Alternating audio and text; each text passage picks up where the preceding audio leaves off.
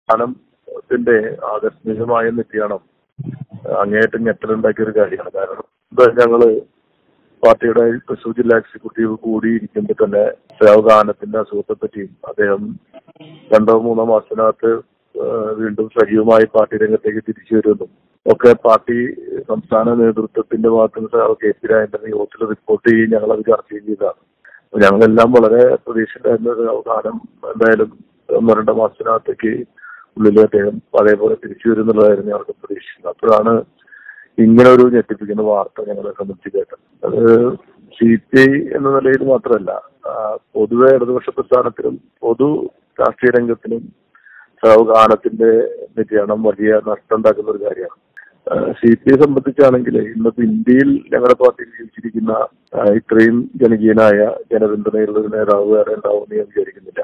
കേരള രാഷ്ട്രീയത്തിൽ സാവധാനം രാജേന്ദ്രന്റെ ശബ്ദം എന്ന് പറയുന്നത് എല്ലാ വിഭാഗം ജനങ്ങളും വളരെ ശ്രദ്ധിക്കുന്ന ഒരു കാര്യമാണ്. കാനം എന്ത് പറയുന്നു ആ കാര്യത്തിൽ എന്നുള്ളത്. ആ ശബ്ദം അല്ലെങ്കിൽ അഭിപ്രായം ജനങ്ങൾ ആഗ്രഹിക്കുന്നു. അദ്ദേഹം അതുകൊണ്ട് തന്നെ കാനം ഏത് കാര്യത്തിലും അദ്ദേഹം പറയുന്ന അഭിപ്രായം വളരെ അവസ്ഥയോടുകൂടി പക്വമതിയായിട്ടുള്ള ഒരു വളരെയധികം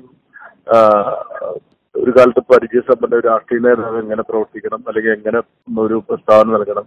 എങ്ങനെ അഭിപ്രായം പറയണം? എന്നുള്ളതിന്റെ ഏറ്റവും ഒരു മകുടോദാഹരണം പോലെയാണ് അദ്ദേഹത്തിന്റെ ഓരോ പ്രസ്താവനകളും ജനങ്ങൾ കണ്ടിരുന്നത്. അതിന് കാരണം അദ്ദേഹം പതിനേഴാമത്തെ വയസ്സിൽ തന്നെ കേരളത്തിലെ ഐ യു എഫിന്റെ സംസ്ഥാന സെക്രട്ടറിയായി അമ്പത്തിരണ്ട് കൊല്ലക്കാലം കമ്മ്യൂണിസ്റ്റ് പാർട്ടിയുടെ സംസ്ഥാന കൗൺസിൽ അംഗമായിട്ട് അദ്ദേഹം പ്രവർത്തിച്ചു. അതിലെ പ്രത്യേകത എന്ന് പറയുന്നത് ഇരുപത്തിമൂന്നാമത്തെ വയസ്സിൽ സി പി ഐയിൽ എം എൻ ഗോവിന്ദൻ നായർ ഒക്കെ ഉണ്ടായിരുന്ന കാലത്ത് അന്ന് കമ്മ്യൂണിസ്റ്റ് പാർട്ടിയുടെ വളരെ ചുരുക്കം ആളുകൾ മാത്രം സെക്രട്ടേറിയറ്റ് ഉണ്ടായിരുന്ന കാലത്ത് സംസ്ഥാന സെക്രട്ടേറിയറ്റ് അംഗമായിട്ട് പ്രവർത്തിക്കാൻ അദ്ദേഹത്തിന് കഴിഞ്ഞു അന്ന് മുതൽ തന്നെ കമ്മ്യൂണിസ്റ്റ് പാർട്ടിയിൽ വളരെ ചെറുപ്പം മുതൽ എം എൽ എ ആയിട്ടും പാർട്ടി നേതാവായിട്ടും ഒക്കെ പ്രവർത്തിക്കാൻ അദ്ദേഹത്തിന് കിട്ടിയ അവസരം അത് വളരെ നന്നായി പാർട്ടിക്ക് വേണ്ടി ഉപയോഗപ്പെടുത്തുകയും ട്രേഡ് യൂണിയൻ രംഗത്ത് അദ്ദേഹം വളരെ ദീർഘകാലം പ്രവർത്തിക്കുകയും ചെയ്തതിന്റെ അനുഭവ സമ്പത്തെല്ലാം കൂടി ചേർന്നപ്പോ അദ്ദേഹത്തിന്റെ പോരാട്ട വീര്യവും അദ്ദേഹത്തിന്റെ ഡിറ്റർമിനേഷൻ ദൃഢനിശ്ചയത്തോടു കൂടിയിട്ടുള്ള നിലപാടുകളും ഈ കേരള രാഷ്ട്രീയത്തിൽ അദ്ദേഹത്തിനെ വ്യത്യസ്തനായിട്ടുള്ള രാഷ്ട്രീയ നേതാവാക്കി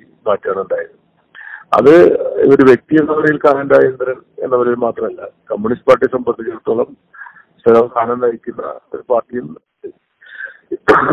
വളരെ വലിയ മതിപ്പ് കമ്മ്യൂണിസ്റ്റ് പാർട്ടിക്ക് ഉണ്ടാക്കിയെടുക്കാൻ സദാവധാനത്തിന്റെ നേതൃത്വം കഴിഞ്ഞിട്ടുണ്ട് സദാവ് വെളിയമ്പാറജോനും പി കെ വി സദാവ് ചന്ദ്രപ്പന് ശേഷം കമ്മ്യൂണിസ്റ്റ് പാർട്ടിയിൽ ഏറ്റവും സ്വീകാര്യനായിട്ടുള്ള ഒരു നേതാവായി അദ്ദേഹം മാറുകയായിരുന്നു.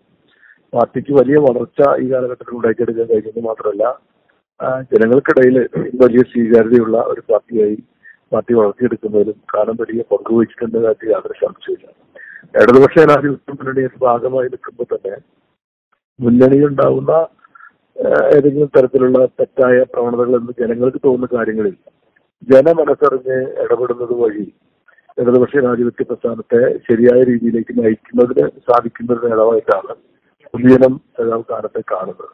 അതിന് കാരണം അദ്ദേഹത്തിന്റെ സത്യസന്ധമായ സുതാര്യമായ ഋജുവായിട്ടുള്ള നിലപാടുകൾ അദ്ദേഹം സ്വീകരിക്കാൻ കഴിഞ്ഞു എന്നുള്ളതുകൊണ്ടാണ്.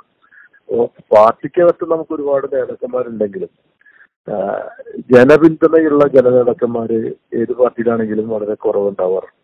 അങ്ങനെ ജനകീയനും ജനപിന്തുണയുമുള്ള ഒരു ജനനേതാവായി മരണം വരെ പ്രവർത്തിച്ച ഒരു വലിയ കമ്മ്യൂണിസ്റ്റുകാരനാണ് ഞങ്ങളെ സംബന്ധിച്ചിടത്തോളം പിതാവ് കാലത്തായത്.